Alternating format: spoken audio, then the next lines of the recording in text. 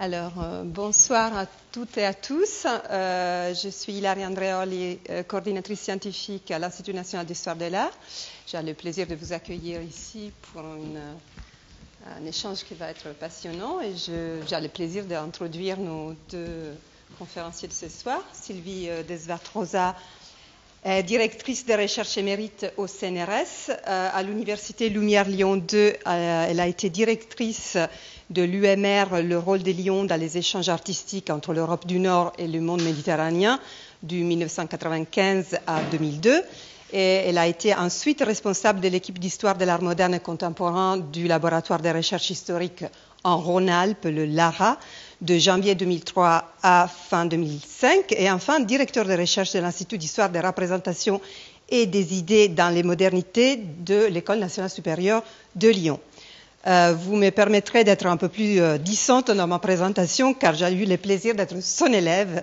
Elle a été mon directeur de thèse.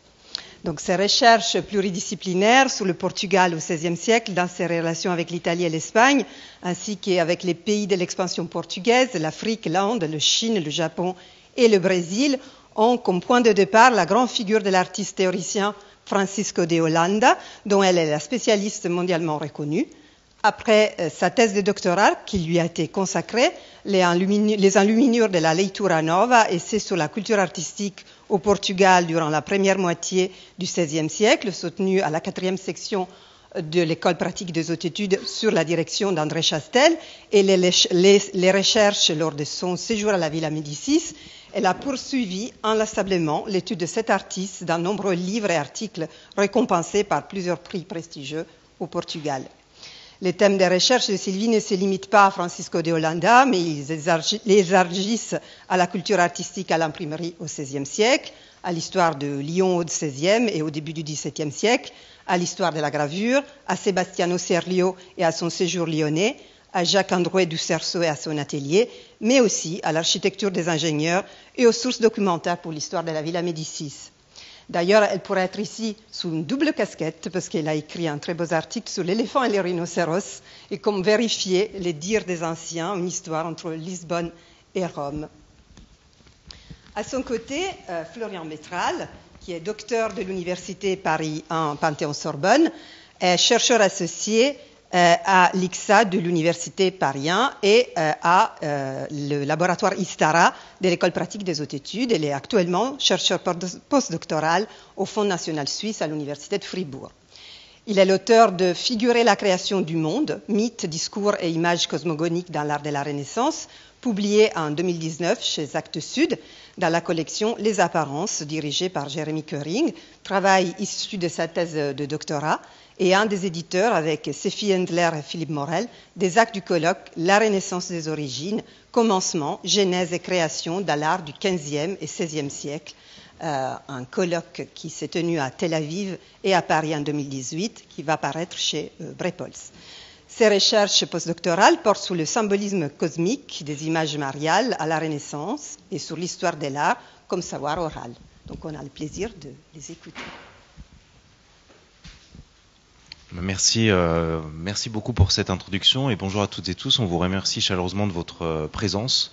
On aurait voulu presque pousser les, murs du, salon des fleurs, mais voilà, on peut pas, peut pas y toucher. Mais merci à ceux qui sont assis euh, dans des conditions, voilà, pas, pas super, mais on est très heureux de, pouvoir vous, vous accueillir ici pour cette ce dialogue, donc qui est consacré à Francisco de Holanda, comme il a été dit, et qu'on a souhaité pouvoir proposer au, festival parce qu'il est l'incarnation, une des incarnations de l'histoire de l'art au, Portugal. Et puis, c'est aussi quelqu'un qui, par ailleurs, a eu un grand intérêt pour l'animal et qui aurait pu faire l'objet d'une conférence en soi. Mais on va euh, plutôt tenter aujourd'hui, voilà, de d'un peu survoler la, carrière de, de, cet artiste qui est en fait, on a appelé cette conférence le grand oublié de la Renaissance parce que des Hollandais, à part, euh, à part les spécialistes de la période, à part ceux qui travaillent voilà, sur le 15e, 16e siècle, et une figure qui, contrairement à d'autres, si on prend Michel-Ange qui l'a connu, a presque totalement été oubliée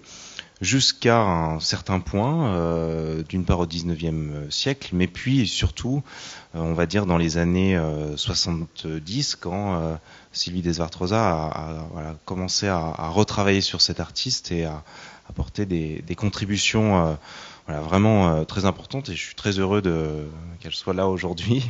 Euh, d'autant que j'ai euh, voilà, suivi son séminaire quand j'étais étudiant, que j'ai travaillé sur ces questions, que j'ai découvert Hollanda à l'époque. Voilà, c'est même, vous voyez, le fond d'écran de mon téléphone. J'adore cet, cet artiste. Il est passionnant et voilà, s'il avait été, sans doute, on imagine découvert par les, artistes des avant-gardes, il aurait aussi voilà, sans doute bénéficié d'un regain d'intérêt un peu plus tôt, comme ça a été le cas pour pour Gréco. Mais toujours est-il que voilà l'histoire, le, temps a fait que euh, sa figure a, été euh, partiellement euh, ignorée aussi, on le verra, pour des questions qui touchent à, son positionnement et notamment au Portugal et à sa dimension marginale dans l'Europe parce que l'histoire de l'art quand même, on va le dire très clairement, notamment pour la peinture, et avant tout, en tout cas en France, une histoire de l'art italienne. Hein, et très souvent, euh, Daolanda, pour avoir fréquenté Michel-Ange, a été un peu aspiré. Alors il a peut-être été en partie sauvé par Michel-Ange, peut-être qu'il a été aussi détruit d'une certaine manière parce que ça nous a empêché pendant assez longtemps de le, euh, de le comprendre. Euh, donc merci de votre présence, euh, euh, Sylvie. Et on a imaginé ce dialogue voilà, autour d'une série de questions pour un peu aborder, comprendre qui il était, et puis, et puis comment vous avez aussi voilà, structuré votre travail, les choses qui vous ont intéressé. Et on va vraiment commencer avec une question très très générale, difficile parce qu'il faudra un petit peu synthétiser sur quelques éléments. Mais voilà, est-ce que vous pouvez nous dire qui était Francisco de Holanda? euh, quand il vécut, euh, et puis quelques informations pour un peu mieux le situer euh, pour le public. Merci Florent, Florian. C'est Florian. merci surtout d'avoir pensé dans le programme à introduire cet entretien parce que tout le monde n'y aurait pas pensé. Hein. Euh, finalement, quand on fait un séminaire, une conférence, on ne sait jamais qui, qui écoute hein, et qui l'entend. C'est toujours une excellente, euh, une, merveilleuse euh, surprise quand quelqu'un, deux ou trois ou dix ans plus tard, vous dit Ah, j'ai entendu. donc c'est le cas avec Florian et c'est vraiment merveilleux et surtout euh, qu'il ne s'était à l'époque pas du tout euh, manifesté. J'étais dans le fond de la salle, très, euh, très, discret. J'écoutais. Donc, Francisco de Holanda, qui, est, qui était-il? Vous le voyez là, à la fin de sa vie, livrant son grand livre euh, de la chronique du monde en images, conservé à la Bibliothèque nationale euh, d'Espagne, à Madrid, livrant son grand livre, le livre qu'il a dessiné et peint euh, sa vie entière, presque, ce qui est rare, et qui le livre à la malice du temps. Alors, euh, j'expliquerai plus tard, mais c'est la dénonciation en quelque sorte euh, de sa mésaventure. Il a commencé en flèche, hein. il a eu un début extraordinaire, et après il a eu une descente. Il, n'a plus pas pu faire euh, la carrière qu'il aurait méritée. Hein. Et donc, euh, cette malice du temps, c'est la malice du temps qui dévore tout, mais c'est euh, une dénonciation cachée, pour moi, à mon avis, euh, de la censure.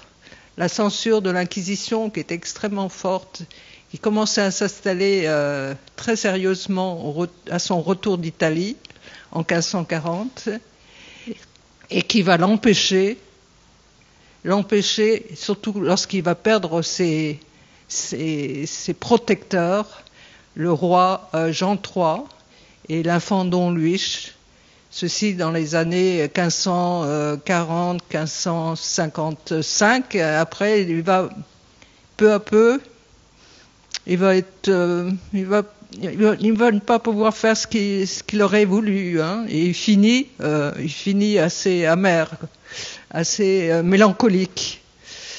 Euh, donc, euh, mais il a une euh, période très très faste lorsqu'il va à Rome et qu'il rencontre Michel-Ange.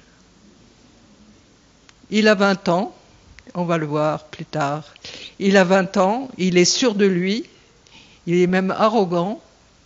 Il, il, le dit lui-même qu'il était arrogant à cette époque. À la fin, lorsqu'il se représente là, anonyme, euh, il se représente, mais il ne met nulle son nom.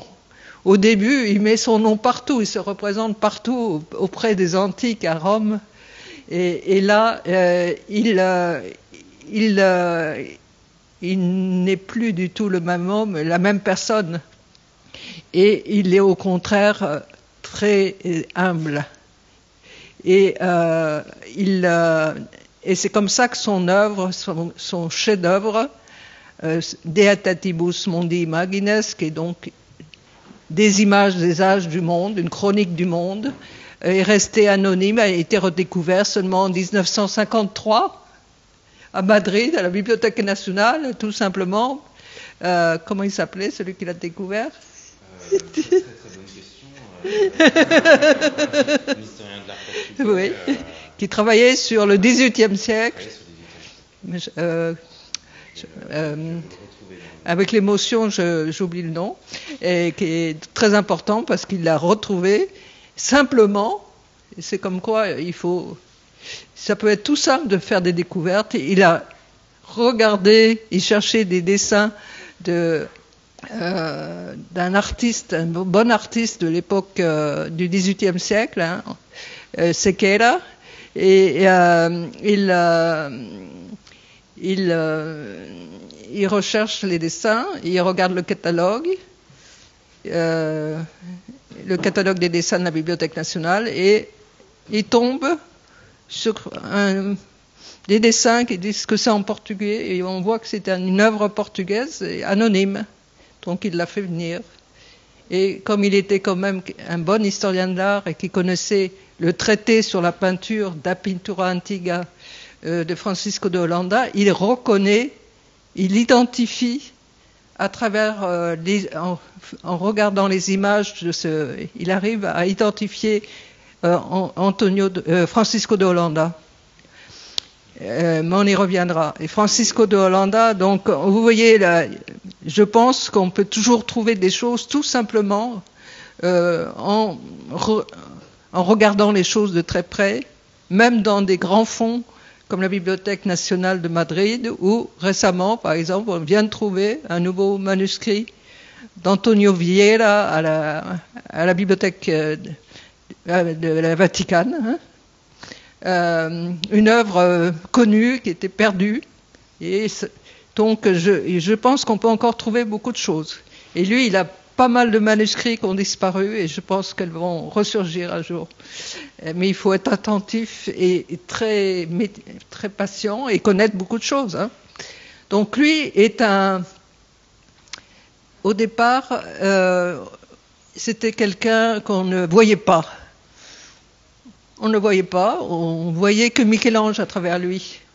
On en faisait une sorte de perroquet de, des propos de Michel-Ange et on scrutait les idées de Michel-Ange et on ne l'étudiait pas pour lui-même. Euh, et, euh, et, donc on pensait que finalement tout ce qu'il disait était des mensonges, des vantardises, des... Et, euh, et en fait il faut l'étudier c'est ce que j'ai fait,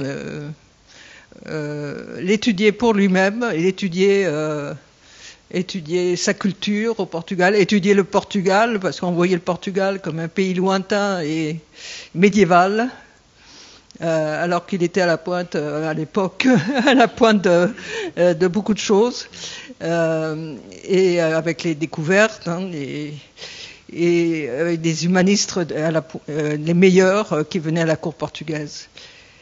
Il Donc, y a eu un peu ce problème oui. de, du, du, tropisme italien, en fait, comme Oui, oui. écrit ces dialogues qui ont. Oui, oui. Alors ces dialogues ont omnibilé et monopolisé la. la- c'est assez exaspérant. Euh, la critique, on ne parlait que ça, et, et Même donc. S'il a fréquenté Michel-Ange, s'il avait fréquenté un anonyme, il aurait été peut-être un peu moins, euh, moins considéré. Non, mais de toute façon, c'est aussi de venir de loin, de la périphérie. Euh, de, tout de suite, on pense que c'est quelqu'un qui restera un, un provincial euh, et qui n'est pas. Alors que moi, je, souvent, je crois qu'au contraire, quand on vient de la périphérie, de, on a son propre regard. hein. on est moins euh, esclave des idées euh, régnantes. Et ce qui, ce c'est du moins le cas avec Francisco d'Holanda. Peut-être qu'il serait intéressant de. Ce que c'est intéressant, c'est comment vous en êtes venu à étudier cet artiste, parce que c'est pas non plus euh, naturel, on va dire, de, travailler sur, euh, sur Oui. cet artiste-là, et c'est le fruit, je crois, de pas mal de, de rencontres, euh, on va dire, avec des écrits. euh, Oui, oui, alors c'est assez, assez intéressant. C'est curieux. hein. Euh, je travaillais à l'époque sur l'Italie, bien sûr. les le point- primitifs C'est it- toujours le point de départ pour Oui. venir pour travailler sur, sur le. Le primitif, euh, les primitifs italiens avec Michel Laclotte et, et ensuite euh, j'avais euh, et aussi avec André Chastel déjà. Et, euh, et ensuite, euh, je suis allé finalement en Italie, à Florence, euh, six mois, en 1970. euh, et j'avais pour ma thèse hein, de, de doctorat, le, le thème c'était la position sociale du peintre en Toscane au, au XVe siècle, au Quattrocento. Donc c'était un sujet assez difficile et euh, il y avait déjà à, Florence, euh, on, se- marchait sur les pieds, euh, il y avait beaucoup d'Américains et c'était un sujet déjà en partie traité. Et, pour aller plus loin, il, il fallait travailler sur les contrats d'artistes et la paléographie, la paléographie euh, euh, à Florence à cette époque-là est absolument dantesque euh, euh, et très difficile. Mais c'est pas la raison de, mon changement de thèse, de thème de thèse. Peu avant, à Paris, à travers des amis portugais que j'avais connus, ils m'avaient entraîné à la Fondation Gulbenkian, au Centre culturel portugais, qui était avenue d'Iéna, hein, malheureusement, euh, elle n'est plus, euh, qui était un centre très vivant. Et euh, j'ai entendu là une merveilleuse conférence de Marcel Bataillon sur le Portugal, Erasme au Portugal. Et je commençais à m'intéresser de ce côté, à, penser que c'était aussi une, autre chose possible à étudier. Et donc à à Florence, comme c'était très facile, c'était l'hiver, euh, il y avait un lecteur de portugais qui était euh, Piazza Santa Annunziata, euh, à l'Università degli Studi, non loin du Kunsthistorisches Institut de, Florence. Donc euh, c'était très facile d'apprendre le portugais là-bas. On était trois. Euh, et un jour, sur la table du seigneur Carlos, euh, qui était le, le- le lecteur, euh, apparut un livre. Un livre qui était la première monographie sur Francisco de Holanda. Alors, Georges Segurado, c'était un architecte hein, qui était fou de Francisco de Holanda, mais qui lui a fait un peu de mal aussi parce qu'il a voulu lui attribuer euh, beaucoup de choses au Portugal, beaucoup trop. Alors après, il y a eu un retour de... euh, ça, lui a fait, ça lui a plutôt de nuit. Mais il n'empêche que Jean Segurado, euh, lorsqu'il décrit l'architecture en, archi- en architecte et en, dessinant, il, il le fait très bien. Euh, mais son jugement était trop ample. Mais en fait, c'est quand même un livre important. Mais à l'époque, euh, je l'ai regardé, j'ai vu que ça existait. je- Il y avait un certain Francisco d'Holanda, mais euh, je ne le, sans plus. Euh, Puis il y a eu une autre, oui. voilà, une autre contribution d'un historien qui est oui. assez important. en- en et alors, oui, qui est Robert Klein. oui, Robert Klein, qui, était, qui travaillait avec Bataillon, et avec André, au Collège de France et avec André Chastel. C'était un Roumain et donc il était extrêmement brillant et il a écrit énormément de choses qui, dernièrement, il y a eu de nouveaux écrits qui ont été publiés. A hein. tout, un, tout, un, travail qui est fait au niveau de l'INHA, et vous en verrez à la librairie de, mm. de ces inédits de, de Klein, qui, mm. en fait, euh, voilà, qui a mis Klein, fin à séjour euh, dans des circonstances un peu Et donc, euh, quand j'étais à, Florence, il, avait, il était très présent. Hein. Euh, il avait disparu, il s'était en fait suicidé. Euh, euh, dans le Val de Settignano en 68. Et donc, quand je me rendais euh, à la Villa Berenson, hein, euh, le grand euh, historien de, de, la peinture de, euh, américain, qui c'est devenu la, la, Villa Itati, où on peut avoir des bourses. Hein. Et, il faut essayer d'avoir des Mais à l'époque, c'était pas, c'était pas, c'était la villa de Beretson. C'était vraiment, euh, c'était pas encore le, un lieu euh, euh, où, où, étudier. Et euh, donc lui, il était, il était partout dans le Val, ce lieu magnifique, le Val de Settignano. Mais à part ça, euh, ce qui est curieux, c'est qu'il a écrit, je ne sais pas exactement comment, dans la, un, article euh, clé hein, dans, très tôt et très clairvoyant euh, sur Francisco de Holanda euh, dans la, la, revue Colloquio Artes en 1960. Et euh, après, il n'a plus du tout écrit sur lui. Hein. Enfin, il a un peu euh, participé avec Zerner, euh, mais il aurait, il, il, voyait juste. Hein, il le voyait. En dehors de Michel-Ange. Il le voyait dans un moment spécifique de la théorie artistique. Et donc, il était le seul à le faire. Les autres étaient tous en train de se dire est-ce est qu'il est menteur? Est-ce qu'il n'est pas menteur? Est-ce qu'il dit vrai? Est-ce qu'il reflète la théorie de Michel-Ange? Euh, Donc, euh, mais à l'époque, je ne pense pas que je l'ai lu tout de suite. C'est seulement plus tard, lorsque je suis passé au Portugal, abandonnant, pas abandonnant, mais changeant de, de thèse euh, et euh, allant au Portugal, euh, puisque là, on ne se marchait pas les, sur les pieds, il y avait personne presque qui travaillait sur le XVIe siècle portugais, ce qui semble incroyable, et, et donc il y, avait tout à faire. Et, et donc, euh, l'été 72, j'étais déjà en train de faire des recherches sur, euh, sur euh, la Leitura Nova, qui est un ensemble de grands registres d'archives magnifiques, 60 registres, 60 registres avec euh, des frontispices enlumés, nés un ensemble unique euh, qui, a, été voulu par Don Manuel, qui était un grand roi, euh, organisateur hein, qui a mis de l'ordre dans beaucoup de choses, dont les archives, dont les archives royales, dans la torre de tombeau, comme on disait. Le tombeau, c'est les archives. Et, et les archives nationales s'appellent toujours torre de tombeau. euh, bien que ça soit plus dans une tour. ça, donne pas envie comme ça. Et donc, euh, l'été 72, je cherchais des, euh, je cherchais des, les, je regardais dans le fond ancien, le, ce qu'on appelle le, les réservados de la Bibliothèque nationale de Lisbonne, les sources où je, les sources gravées dans les livres. Euh, à l'époque, je regardais que les, que les images, je, je lisais pas les textes. Après, il a fallu tout revoir et lire aussi les textes. et donc, euh, l'été 72, je tombe, innocente, euh, et ce fut ma véritable rencontre avec Francisco de Landa sur un livre d'épigraphie euh, où, il écrit sur la couverture que c'est son livre. Euh, c'est son livre. Maintenant, c'est effacé. C'est très effacé. À l'époque, c'était, c'était, voyait.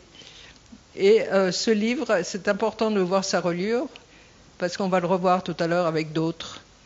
Et ce livre, en, le regardant un peu de près, il était très un peu fatigué, un peu, un peu très utilisé. Donc c'est pour ça qu'on était en train de préparer, Pina Martins était en train de préparer l'Expo Camouinche, y a une énorme exposition, mais comme lui, il aimait beaucoup les beaux livres bien propres, il l'avait laissé de côté, hein, parce que c'était pas, pas un livre en état. Et donc, c'était bourré de de la main de Hollanda, euh, jeune, et de petits croquis. Et je pense aussi de son maître, euh, l'humaniste et poète néo-latin, André Dresinde, qui va le former à l'épigraphie avant d'aller à Rome. Vous voyez là, c'était pas. La signature n'est pas sur la couverture, elle est au milieu du livre. c'était difficile à trouver, il fallait le regarder en entier. Et, euh, vous voyez ce genre de petits dessins auprès des illustrants euh, en relation avec les inscriptions de Rome. Euh, c'est un livre extrêmement qui va le marquer pour la vie. Il l'a lu en entier, du début à la fin à voix haute, je pense, pour développer les, abréviations. Et donc, il avait une culture épigraphique. Hein. Euh, lorsqu'il arrive à Rome, contrairement euh, aux autres, euh, artistes, il voit l'inscription. L'inscription, il se précipite pour lire l'inscription comme font les humanistes qui ont une formation en épigraphie. Et c'est seulement après qu'il regarde l'architecture. On va plus vite Et peut-être ce qui serait intéressant, c'est de. Ce qu'il singularise quand même, c'est que, contrairement à ce que vous disiez, contrairement à d'autres artistes, il a vraiment ce bagage euh, humaniste. C'est-à-dire qu'il a eu une éducation euh, de, très haut niveau, ce que beaucoup d'autres artistes, même des artistes italiens, n'ont pas eu. Euh, on pense à Michel-Ange n'a pas eu mm. une grande éducation humaniste. Raphaël peut-être un peu plus, Léonard c'est un, petit peu bricolé. Mais lui, c'est le cas, ce qui fait qu'il a aussi bien son activité de, théoricien, mais il vient quand même de l'enluminure. Oui, sa, oui. Voilà, sa première formation. Alors, euh, qu'est-ce qu'on sait un peu de sa formation? Oui. Alors, je vais quand même parler avant de Razinski rapidement, qui était un, qui a eu une, énorme importance pour euh, pour le Portugal hein, au milieu du 19e siècle. Euh, il vient comme ambassadeur du roi de Prusse et il écrit parce qu'il s'ennuie. Euh, dans la carrière, il le dit, je m'ennuie. Et donc il se lance. Il, avait déjà écrit une, euh, histoire de la peinture en, Allemagne. Hein. Il va écrire donc l'histoire des arts au Portugal, et c'est la première histoire des arts au Portugal avec l'aide d'énormément de gens. Hein. Et une chose qu'il va faire, c'est publier euh, euh, partiellement et en français, parce que c'était la mode du français euh, à l'époque encore, et il publie à Paris les dialogues avec Michel-Ange, qui est donc le deuxième livre de, le deuxième livre de Ta Pintura de la peinture antique, qui est le seul livre qui va intéresser le monde pendant longtemps parce que c'est les dialogues avec Michel-Ange. Et lui, il déclare euh, Je n'ai pas reproduit le premier livre parce que je le trouve sans intérêt, hein, dépourvu d'intérêt. Et ça a été la fin. Euh, parce que du coup, personne n'a lu le premier livre, euh, le premier livre qui était le plus novateur. Celui-là était très important, très agréable, mais il venait plutôt pour divulguer après. C'était la partie amusante, hein, enfin vivante. Tandis que la première partie, c'est la partie sérieuse, et où il a des chapitres clés euh, qui euh, un, chapitre euh, sur l'idée, l'idéa, justement, de ces textes que cherchait Panofsky et qu'il ne trouvait pas avant la fin du XVIe siècle. Et il y a un autre chapitre aussi très importante sur, euh, qui, va avec une conception euh, néoplatonicienne et philosophique d'une peinture qui se répand, euh, qui, divine, hein, qui vient d'inspiration divine, qui, est partout dans le monde. Et, donc, c'est donc complètement novateur et finalement, cela précède de 50 ans les, les Italiens. Alors hmm. ça, c'est assez c'est ça qui est intéressant et qui n'a pas toujours été. Euh, ça pas on a, du on tout. n'a pas toujours voulu le comprendre parce qu'on s'est dit c'est pas possible. C'est pas les possible. Italiens sont les meilleurs. Ça ne pouvait pas venir d'ailleurs. et pourtant, c'est vrai que quand on Oui. de Landa, il y a des propositions vraiment euh, qui anticipent, euh, qui anticipent pas mal de. En plus, Hollanda, il dit, il fait une notice Razinski importante hein, sur Hollanda, historique, bi- biographique, et il, il, il critique Hollanda aussi, il a raison, et c'est, il a raison de ne jamais parler de ses collègues, enfin des peintres, des artistes portugais. Alors ça, ça, il a presque écrit son histoire de l'art euh, au Portugal pour montrer, démontrer qu'il y avait des grands artistes portugais. Et euh, de nos jours encore, euh, Hollanda est parfois mal vu. Pour, dit mais pourquoi il ne parle pas de ces Petite pratique de la tabula rasa euh, avant lui. Voilà. Qui est Euh, toujours bien quand vous voulez vous mettre en valeur. Mais d'où sort véritablement ce petit euh, Francisco de Holanda qui va à Rome, vous le voyez là, euh, avec son chapeau à plumes à 20 ans. Vous voyez, c'est là, là, c'est lui de profil, on va le voir après, auprès de la muse Melpomène. hein. Et il, est comme ça quand il arrive à Rome. Il sort d'une euh, formation de- d'enlumineur avec son père. Et d'ailleurs, cette formation d'enlumineur, après, auquel il va rajouter une formation euh, d'humaniste à la cour portugaise qui va lui donner une toute autre envergure. Mais l'enluminure restera fondamentale pour lui parce que justement, il la place, l'enluminure, euh, au, sommet de la hiérarchie, euh, au, au haut de la peinture, comme euh, vraiment l'in- l'inspiration divine. Et euh, il restera fidèle à l'enluminure jusqu'à la fin de sa vie, bien qu'il se dise ensuite architecte plutôt.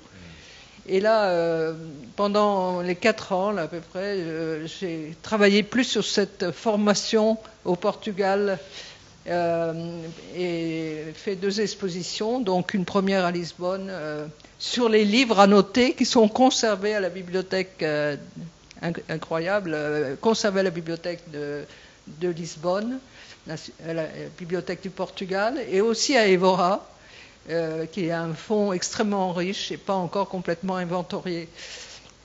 Et donc, euh, euh, ça m'a permis de beaucoup avancer. Et, euh, et donc, euh, parlons de la formation d'enluminure rapidement. Son père vient de- des Pays-Bas. C'est un grand artiste et il est, encore à étudier. C'est une des choses qu'il faudra étudier euh, et qui est très difficile à étudier d'ailleurs. Euh, ce qu'il fait avant d'arriver au, euh, Portugal. Il devient un personnage très important à la cour du Portugal par sa euh, fonction de héraldique. hein. Il, il finira roi d'armes, c'est-à-dire quelqu'un qui a vraiment un rôle presque d'ambassadeur, euh, qui est à la tête des ambassades. euh, et, euh, qui euh, fait énormément de choses en enluminure. euh, et d'abord, euh, Hollanda euh, enlumine beaucoup de choses pour l'infant Don, Don Fernando, euh, qui est euh, un des frères du roi, qui est un féru d'histoire, hein, qui va faire, copier les, enluminer les, chroniques, euh, faire faire une grande généalogie des rois du Portugal, qui, est un des chefs-d'œuvre. euh, mais il a commencé dans la Leitura Nova, cet ensemble de recueils d'archives, hein, voilà, dont vous voyez un frontispice c'est de grande dimension. hein. C'est maintenant inconsultable, on peut plus. À l'époque, il n'y avait même pas de photos, et euh, que je les ai eus entre les mains, les uns après les autres. Il y en a 60, pèsent un, un poids énorme. et aussi des petits livres de l'heure, d'heures, euh, et, euh, et euh, des, chro- des- des chroniques. Voilà le- la, chronique de Jean III, qui est très, euh, Don Juan euh, Primero, qui est à Madrid. et, qui est rempli d'aluminium magnifique du temps de. Vous voyez justement euh, toute la richesse iconographique. Euh, et, il travaille en plus, c'est très important, pour, euh, avec Lopo Main, qui est le grand cartographe, à, enluminer ces, cartes marines euh. Et vous voyez cet atlas Miller qui est à la Bibliothèque nationale, et, vous voyez le thème animalier qui est là, euh, qu'on pourrait. Intéressant parce qu'il y a une grande veine euh, animalière chez, chez, les des Hollandais, en fait, père et fils. Oui, oui. Euh, et qui donc, est notamment peut-être lié aussi à la situation du Portugal et à, et à ce qui se passe. Et, donc là, vraiment, c'est. Oui. Le grand thème, c'est l'éléphant, hein, dont Manuel se, promenait dans la ville avec euh, plusieurs éléphants. c'est décrit par euh, l'humaniste et historien euh, Damien de Gauche. Et il est partout dans les enluminures, au, paradis, au paradis terrestre.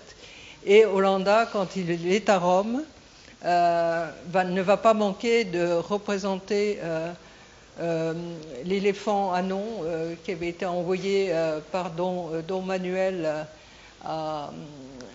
au pape Léon X et euh, qui était mort assez prématurément et qui euh, Hollanda va, euh, il est le seul à le faire, il va le, copier son épitaphe par Brancogno dell'Aquila, qui était un, grand ami de Michel-Ange, de Raphaël, euh, et, Raphaël avait fait un dessin qu'Hollanda copie là, de, de, l'éléphant à nom. Euh, et Hollanda, dans, sa création des animaux, euh, ne manque pas de mettre un éléphant. cette image rien, pourrait faire être le sujet d'un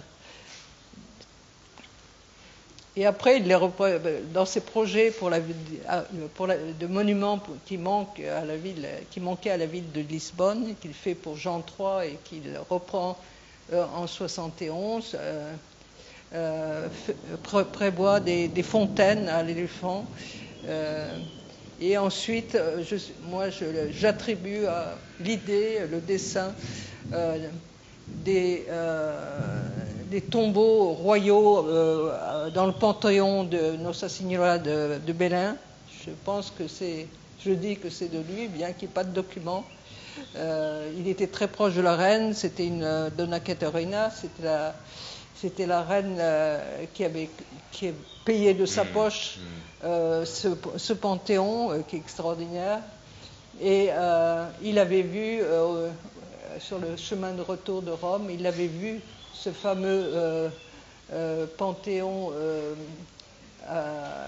des Malatesta, hein, San Francesco de Rémini, sur le chemin. Enfin, ça me semble très probable. Alors il faut qu'on il faut qu'on avance un petit peu parce que l'heure tourne et, qu'il nous reste environ ah, 5 minutes 5 minutes? 10 minutes. Donc peut-être on peut euh, faire euh, un, grand saut euh, vers, la, vers la chronique, non? Qu'est-ce que vous en pensez comme ça Je voulais montrer ben, que sa, sa, formation dans le mineur, il la conserve jusqu'au bout. Vous avez ici le, le frontispice de De Mondi Imagines qu'il fait à la fin de sa vie, hein, lorsqu'il termine l'œuvre finalement. Euh, dans les années 81, euh, euh, selon moi. Qu'il avait commencé dans les années 1545. En 45. 1545. Exactement, 1545. Donc une œuvre à 30-35 ans. Oui, oui. Et vous voyez là une, un fragment d'un antiphonaire a, de Thomas qui a été dépecé. tout ça, ça se passe pendant les, les invasions françaises, comme vous fait des dégâts. Et et vous voyez, là, j'attribue ce fragment, de, il fait ça à Évora euh, après son retour d'Italie. Hmm. Vous voyez, euh, je l'attribue à Hollanda, euh, aux deux Hollanda, ou à lui seul. le visage est tout à fait hollandien, à mon avis, et on voit qu'il a vraiment cette formation dans le mineur venant, qui vient de son père, hein, des, des bourgeois, comme on disait.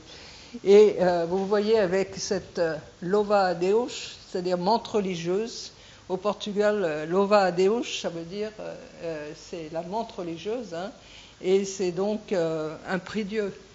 Et donc c'est une sorte de charade. Euh, euh, et, pour comprendre la présence de ce petit animal qui est représenté comme euh, vraiment un,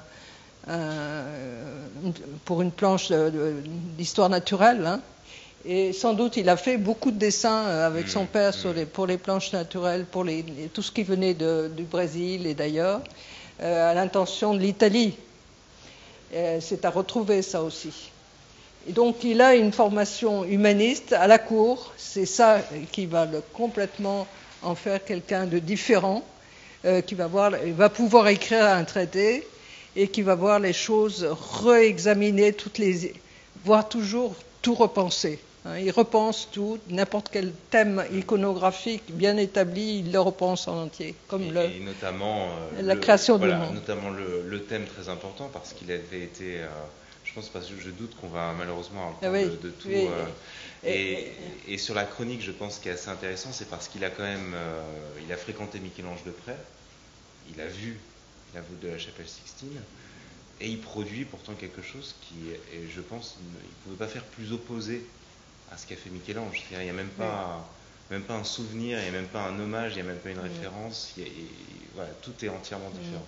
Alors là, c'est Clénard, qui est un grand humaniste qui est à la cour, et je pense voir son portrait enluminé par son père. Ça, c'est une nouveauté. Et voilà les livres qui servaient à l'enseignement, les livres euh, dont celui euh, des inscriptions qui servent à l'enseignement des jeunes nobles à côté des princes. Et voilà le, euh, tout le contexte. bon, André Drezinde, Évora, la fontaine de sa quinta euh, qui va bientôt disparaître. et euh, passons vite. Et le voyage que j'ai reconstitué, qui est toujours enfin, problématique, lors de la 17e exposition du Conseil de l'Europe.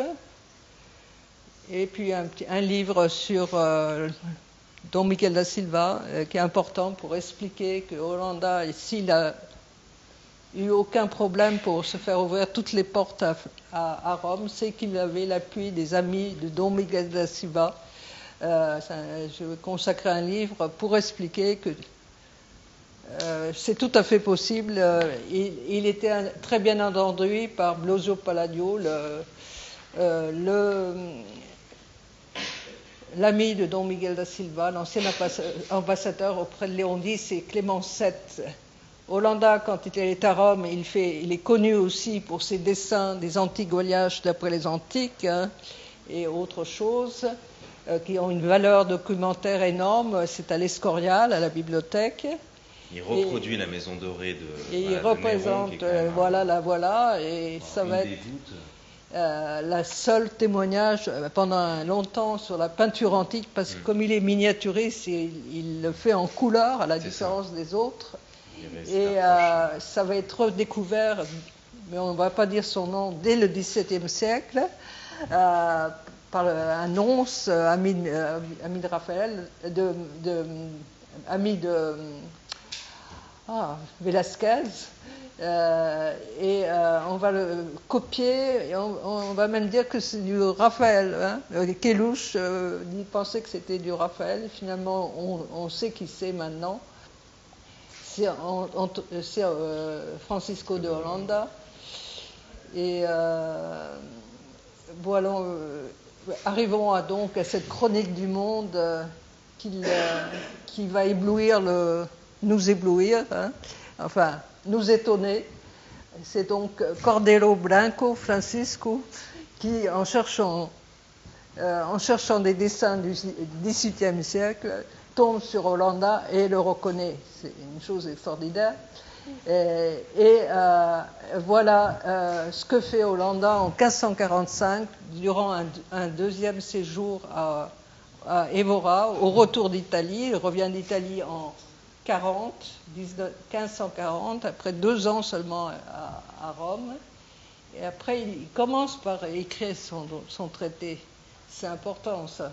Il écrit au retour son traité et après, il reçoit sans doute la commande de faire euh, une création du monde, une chronique du monde par euh, la famille royale. Parce et euh, il commence en l'été, euh, le août 1545, et il, note, hein, le note solennellement. J'ai commencé à Évora en août 1545 ce dessin, et c'est cette image complètement sidérante, géométrique du premier jour euh, euh, de la création du monde, hein, alors que lui, il vénère Michel-Ange, et il fait ça. Voilà, voilà le résultat. On ne sait pas si c'est Michel-Ange qui a mal fait son travail de, de transmission ou si c'est vraiment Hollanda qui a dit ça non, non, et donc, euh, euh, ça correspond à sa, à sa, sa culture. Hein, ouais. euh, oui, qui est aussi, il faut dire, c'est une culture de l'enluminure. Et c'est ça qu'on a peut-être parfois trop oublié, c'est que lorsqu'on regarde ces images, en fait, si on a une bonne connaissance de ce qui s'est fait dans l'art médiéval sur ce sujet-là, en fait, on est quand même dans une forme de continuité. Oui, oui. Pas. Il est plus, il a beaucoup de liens avec l'époque médiévale. Voilà, il y a beaucoup de liens avec l'époque euh... médiévale. Et puis, ce qui est aussi intéressant pour lui, c'est par rapport à ce que vous disiez sur ces traités, ces deux écrits qui sont, enfin, il y a l'écrit et puis il y a les images. Et tout ça s'influence mutuellement parce que dans les écrits, il y a des déclarations un peu. Il y a un va-et-vient euh, total. Très, voilà, très avant-gardiste où il dit en gros le peintre c'est Dieu, euh, créer une œuvre c'est comme quand Dieu oui, est en direction, et l'ombre. il doit, il doit monter voilà. jusqu'à Dieu. C'est ça. Hein, Donc il y a un processus de, enfin la, la, compréhension du processus de création dans la religion chrétienne est pour Landa semblable au travail du peintre. Et, Donc c'est et donc, euh, vous voyez, alors, euh, on s'est tout de suite. On n'a pas tout de suite reconnu que c'était une, une, chronique du monde, on avait vu simplement des images de la Bible. Et on, a, on a dit, c'est surréaliste. On a dit, ah, on dirait du Bleck. On dirait du Bleck, on a et, oui, dit ça. Et on dirait bien du Bleck. Et on dirait bien du c'est fascinant, ce sont des généalogies, ils n'ont pas eu de contact. Euh, c'est des généalogies euh, spirituelles, euh, intellectuelles qui se créent après coup et qui parcourent l'histoire, hein, l'histoire culturelle.